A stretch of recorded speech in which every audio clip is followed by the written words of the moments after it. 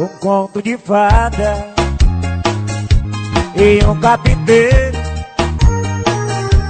Sozinho sem nada Também sem dinheiro Amava a princesa Mais linda da terra fazinha sem